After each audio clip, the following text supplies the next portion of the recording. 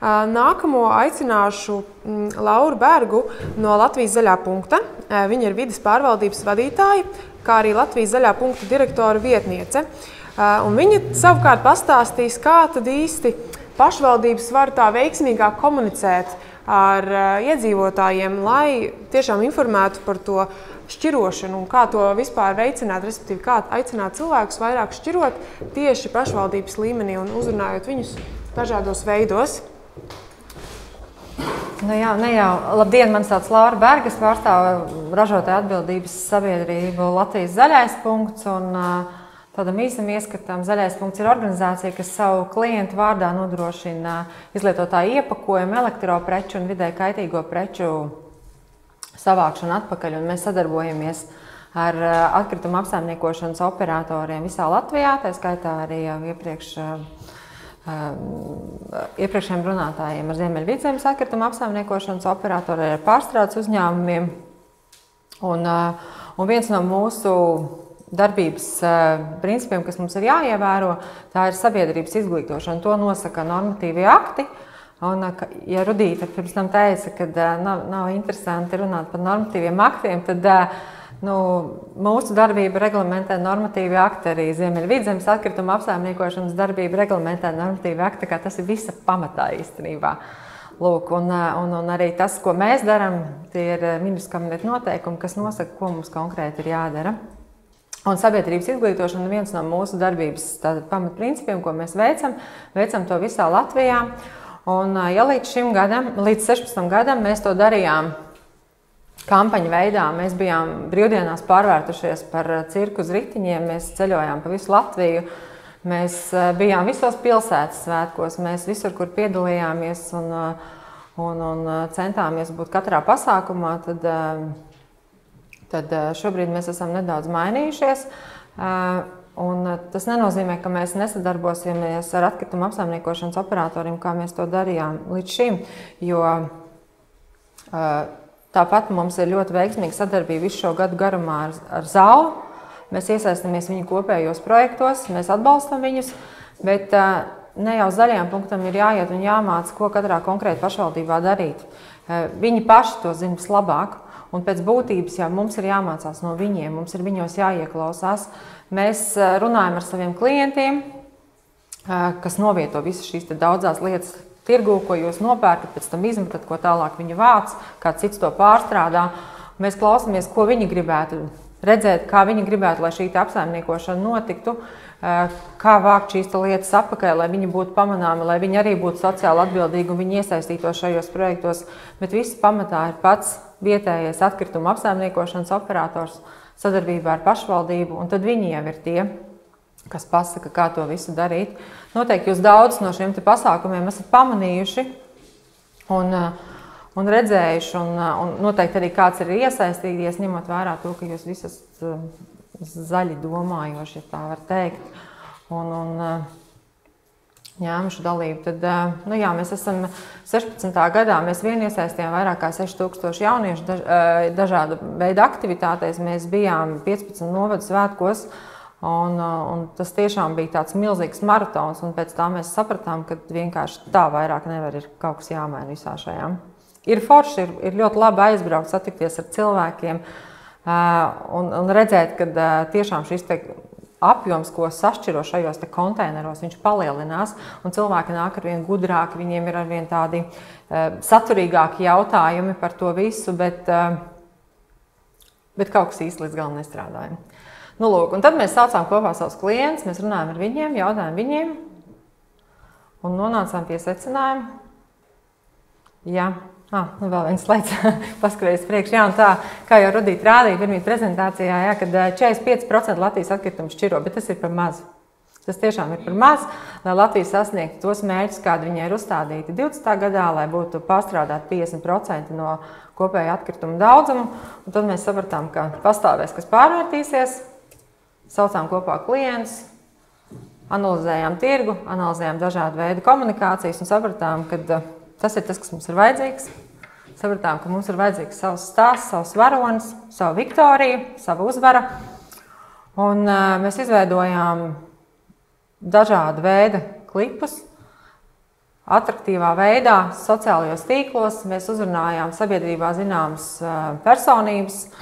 Mēs sadarbojāmies ar, kas ir arī mūsu atbalstītāji, Latvijas Futbola Federācija.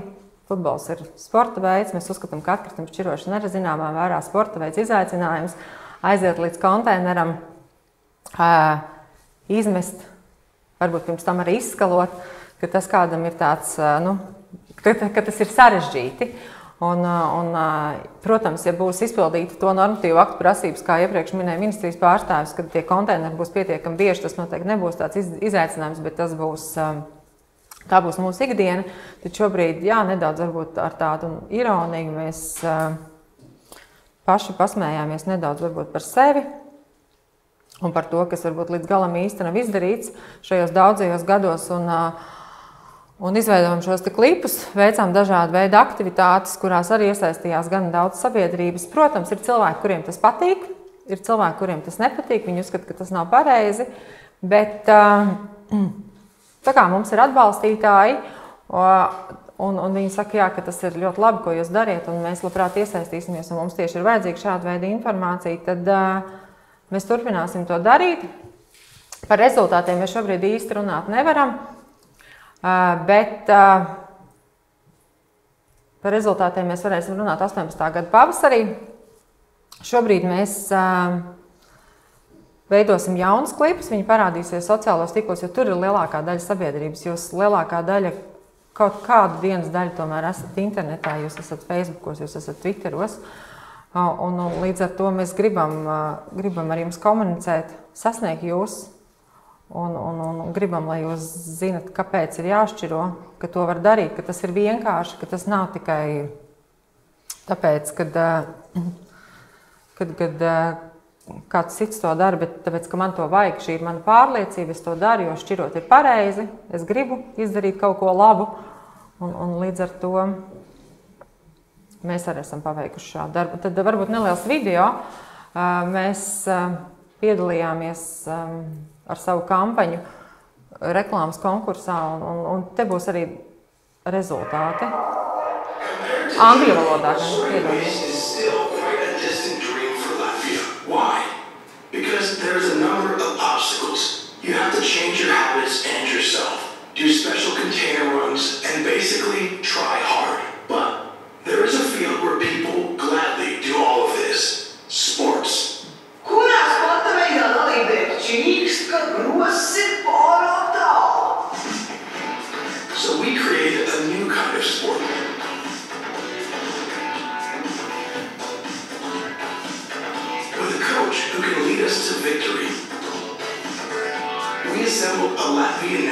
Team and kick the whole thing off with the most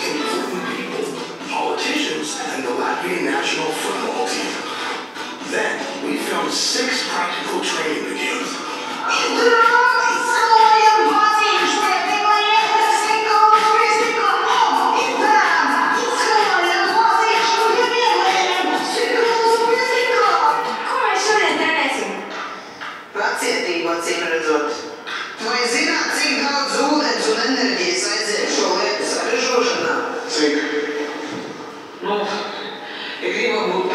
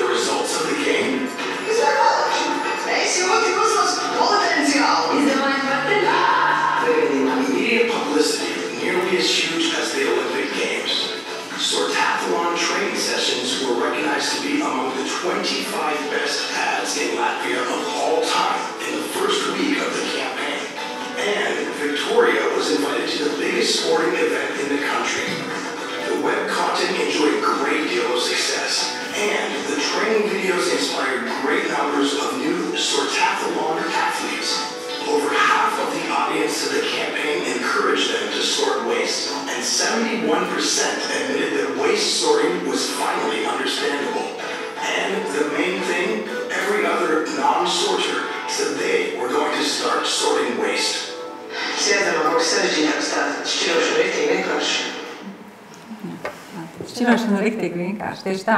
Kas varbūt nav minēts šajā prezentācijā, bet eh, ko mēs zaļais punkts darām vēl papildus tam visam, mēs esam uzsākuši komunikāciju ar saviem klientiem. Jo, kā jau Zāle minēja, ka ne visi var pārstrādāt, bet savukārt viss, kas nonāk pie mums veikalu plauktos, tad pie jums, jūsu iepirkuma somās, pēc tam tālāk jūsu mājās, ir ļoti daudz tādas lietas, kuras eh, varbūt varētu iepakot, un, un, un viņas varētu ražot daudz vienkāršāk, jo mēs ražojam dažādu veidu iepakojumus, kas ir absolūti absurdi no pārstrādes viedokļa. Piemēram, um, smūtī, ko te ļoti daudz lieto. Viņi ir tādā plasmas pudelē, apkārt vēl tādu plēvīti, ieliekas vizuāli ļoti skaisti, bet tajā pašā laikā, tad, kad tas viss nonāk tajā pašā pat baltajā uz līnijas, viņi saka, nē, šito es nepārstrādāšu. Tāpēc, ka vienkārši es to plēvi nevaru dabūt nost. Nu, un vēl ir ļoti, ļoti daudz tādu piemēru. Bet uh, labā ziņa ir tā, ka uh, Latvijas ražotāji ir to. Ja Eiropā tas notiek un ir valsts, kur tas ir noteikts likumi, kur piemēram ražotājiem ir pateikts, ka man gada laikā ir jāsamazina mans iepakojuma patēriņš uz vienību par kaut kādiem noteiktiem procentiem, tad Latvijā šāda lieta nav, bet ir ražotāji, kas ļoti par to domā. Un uh, ir uzņēmumi, kas jau šobrīd to dara, Un, uh, un viņi ir domājuši, kā aizstāt vienu materiālu ar otru, vai kā samazināt transporta iepakojumu vienības uh, svaru, lai viņi varētu pirms varbūt vairāk aiztransportēt, lai šis iepakojums būtu nezinu, vieglāks, viņš būtu vairāk izpūsts vai, vai kaut kāda citādāka geometriskas formas veidots, lai, lai attiecīgi viņš nezaudētu savu kvalitāti, bet tajā pašā laikā tas patēriņš būtu daudz mazāks. Un pārstrādes iespējas tam konkrētajam iepakojuma veidam būtu labas, un lai nav jādomā pēc tam tālāk, kur šo materiālu likt. Mest viņu tajā konteinerā vai nemest, aizvedīs viņu tas operators prom, vai tomēr viņu paņems un sadedzinās, kā piemērs. Nu, lūk. Kā jau es minēju, tad, tad jā, līdz tam 50 gadam mums ir jāpārstrādā 50% no kopējā atkrituma daudzuma, kas ir ļoti izaicinoši. Un, un iepakojums jau ir tikai viena daļa no tā visa. Un kas, kas būtu jādara pašvaldībām? Tas ir tāds īsais mūsu redzējums attiecībā uz to, kā varētu motivēt šos iedzīvotājus šķirot. Protams, ir nodrošināt šo šķirošanas vietu pieejamību. Iedzīvotājiem ļoti daudz mīti par šķirošanu, par to, ka dā, es tur nešķirošu un, un tur aizvedu visu kopā. Par to mēs runājam jau nezinu, ļoti, ļoti daudzus gadus. Ļoti daudz gadus. Un, un, ja mainās šie priekšstati un stereotipi, tad noteikti arī ir ir, ir kaut kāds um, uzlabojums visā šajā. Uh, protams, ir jābūt skaidrai informācijai, ko, kā pareizi šķirot, ko kurā konteinerā likt. Un ļoti būtiski ir, uh, kas ir uz tā konteinera rakstīts virsū, kāda veida komunikāciju saņem šīs iedzīvotājs. Um, strādāju zaļā punktā ļoti sen. Un, un par šo laiku, kopš mēs kopš strādājam, mums ir bijuši arī nezinu, kaut kādi nu, 30, 40 dažādu veidu uzlīmju varianti, ko liekam uz konteineriem. Un, un mēs arī esam mācījušies gan no citām valstīm, gan no, gan no arī vietējiem apsaimniekotājiem, runājuši cilvēkiem, stāstījuši. Un tad gandrīz nav tāds gads, kad mēs neieviešam kaut kādu jaunu informāciju šiem konteineriem. Jo, jo ir, ir cilvēki, ir dažādi, viņu uztvers ir dažāds, un tad atrast to pareizo veidu, kā viņiem pateikt. Nu, Tas ir ļoti, ļoti grūti. Un, protams, atrast mūsdienīgu sabiedrības pieeja iesaistē. Nu, viens no mūsu piemēriem jā, ir šī Viktorija, un, protams, arī visi šie daudzie skaistie konteineri, kaut vai šie paši pazemes konteineri, kas ir, kas ir vizuāli patīkami. Man liekas, ka tas arī rada tādu patīkamu iespēju aiziet uz viņu sašķirot. Un, saprast, ka, nu, ja šī tādas konteineris uzliek, nu, tad to nekur citur neaizvedīs, kā tikai uz pārstrādi. Nu, tad Jo tas ir, tas ir kaut kas tāds nu, fundamentāls un pamatīgs. Un, un vispār jau tā atkrituma saimniecība ir ļoti milzīga industrija, kur ir ļoti daudz iesaistīto, kur, kur ir ļoti daudz uh, savākšanas konteineru, ir, ir iekārts, eh, kur to visu apstrādā, pēc tam tālāk viss šī pārstrādes gals. Un, un droši vien, ka cilvēkiem par to ir vairāk jāstāsta un jārunā. Ja es sašķiroju šo pudeli, tad šo pudeli konkrētā vietā saprasē, atbilstoši kvalitātes prasībām, un aizsūtu tālāk uz šo rūpnīcu pārstrādē. Man liekas, ka cilvēkiem bieži vien pietrūkst šī informācija par šo gala pārstrādi. Un tas arī ir tas, kas varbūt viņus līdz galam nemotivē, jo viņam liekas, ka nu, nu, Latvijā jau neko nepārstrādā. Mums jau nav nevienas rūpnīcas, nekā mums te nav. Nu, lūk. un tad, nu, jā, Tad vēl neliels video atkāpēji, ar ko mēs arī lepojamies. Mēs uh, uztaisījām atkritumu šķirošanas dziesmu. Un tā droši vien, ir tāda pirmā.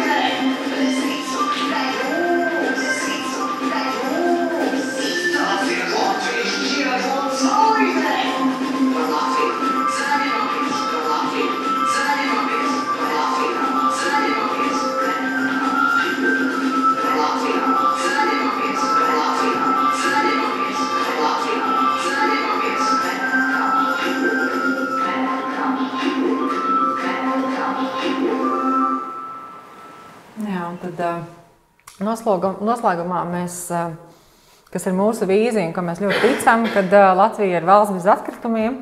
Mēs ticam, ka mēs sasniegsim šos 50%, mēs noteikti sasniegsim vēl vairāk, un mēs ticam, ka viss sašķiros. Mēs ticam, ka to pārstrādās, un mēs ticam, ka katrai lietai tiks atrasta sava vērtība. Un tikai kopā sadarbojoties, mēs nonāksim pie šī skaistā mērķa. Kā, paldies jums, ka jūs mūs uzaicinājāt, ka mums tika dot iespēja paust savu nostāju. Un, un paldies um, Zao par to, ka uh, viņi mūs arī audzina, un mēs ļoti daudz no viņiem mācāmies. Un, un kā jau Rudīte teica, ka viņi ir cēlonlauži visam. Un, uh, Un, un, un tas ir ļoti labs piemērs par to, kādā veidā būtu jāveido šī atkrituma apsaimniekošana reģionos. Un, un, un kā strādāt ar sabiedrību, lai viņi attiecīgi iesaistītos visos šajos kopējos mērķos. Jo kādu vidi mēs veidosim, tādā mēs dzīvosim. Kā, paldies jums!